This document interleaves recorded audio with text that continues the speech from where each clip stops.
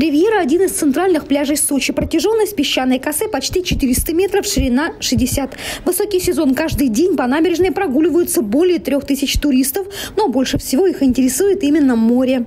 У нас обязательно заключен э, договор с Роспотребнадзором, и еженедельно они берут пробы воды и пробы грунта э, на предмет, чтобы все Санпину отвечало.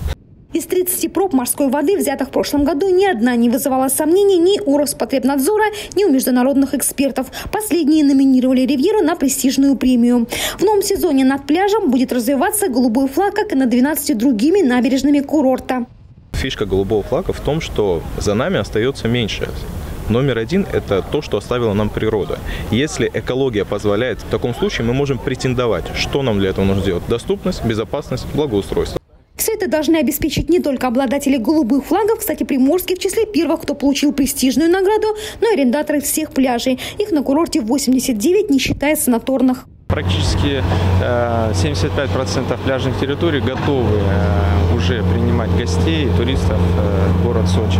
Вот. Но к 1 июня, я думаю, те пляжи, которые сейчас отстают, они подтянутся противном случае с арендаторами будут расторгнуты договоры. Сейчас на пляжах красят спасательные вышки, прокладывают дорогу к морю для маломобильных граждан, выравнивают галечную полосу.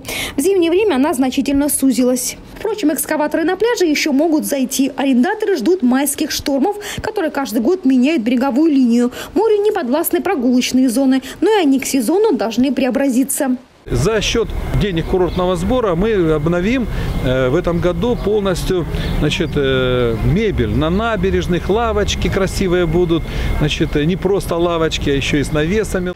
Новом сезоне ожидается большой поток туристов. На курорте и в прошлые годы загрузка летом составляла 97%. Благодаря появлению новых авианаправлений количество гостей значительно увеличится. В этом году воздушные ворота Сочи впервые примут рейсы из Воронежа, Сургута и Томска. Елена Овсецина, телекомпания «ФКТ».